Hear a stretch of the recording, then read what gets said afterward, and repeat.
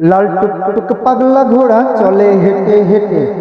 একদিন আমি বৈশা ছিলাম সেই ঘোড়াটার পিঠে। হঠাৎ করে ঘোড়া আমার লাফালাফি করে। ঘাপুস করে গেলাম, করে আঘাত পেলাম পিঠে। সেখান থেকে একটু দূরে ছিল একটি মেয়ে। দৌড় দিয়ে সে কাছে এসে আদর দিল পিঠে। আদর দিল পিঠে গো, আদর দিল পিঠে। আদর দিল পিঠে গো, আদর দিল পিঠে। পরিচয় সেথায় ছিল। মেয়েটি খুবই ভালো। পরিচয় সেথায় ছিল। মেয়েটি খুবই ভালো। এখনও আমাকে সে অনেক ভালোবাসে গো, অনেক ভালোবাসে। এখনও আমাকে সে অনেক ভালোবাসে গো, অনেক ভালোবাসে।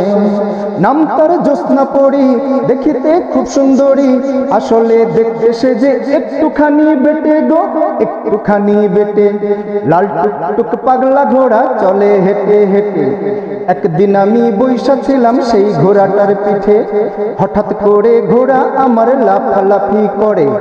ঘাপুস করে গেলাম, পড়ে আঘাত পেলাম পিঠে।